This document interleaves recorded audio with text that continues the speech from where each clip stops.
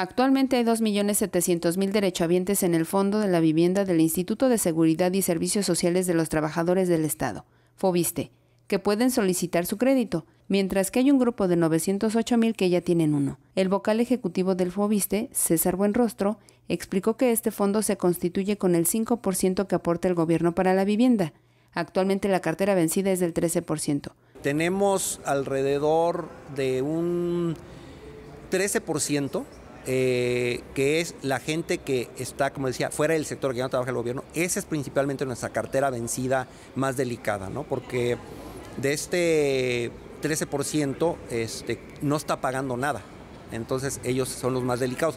Porque algunos otros eh, que, tienen a lo mejor algún, alguna deuda, al estar ellos todavía activos, este es más fácil hacerles una reestructura. El año pasado hubo un repunte de inflación y subieron los precios. Por ejemplo, el acero es un producto que sube y baja de manera constante.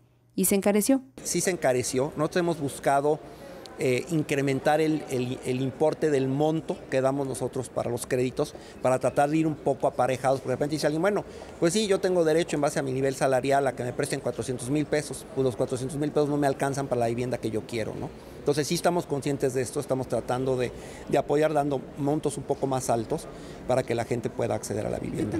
El precio de las viviendas ha tenido crecimientos importantes, por lo cual ha habido pláticas con los desarrolladores.